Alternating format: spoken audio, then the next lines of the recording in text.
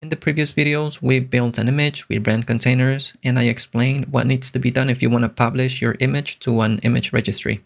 The last step is to clean up. I'm just going to copy this command, container ls to see which containers I have running. Just going to paste this command here.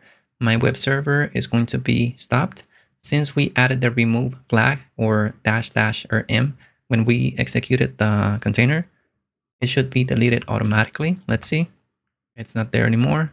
I'm going to remove the other container, which is dash 2. Execute that. You can see about the RM flag here. So the containers are removed.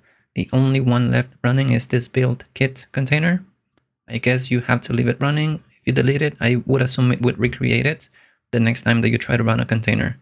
And if you want to stop the container service, you can run this. I think I'm going to stop it for now. Let's come here. Let's paste it that is going to stop it.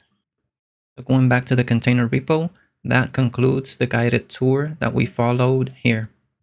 Remember that this video is part of a playlist. If you're not following, go and check out the previous videos. If you liked it, give it a thumbs up and consider subscribing to the channel.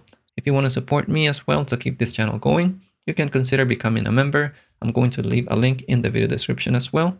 I hope this video was useful and I'll see you in the next video.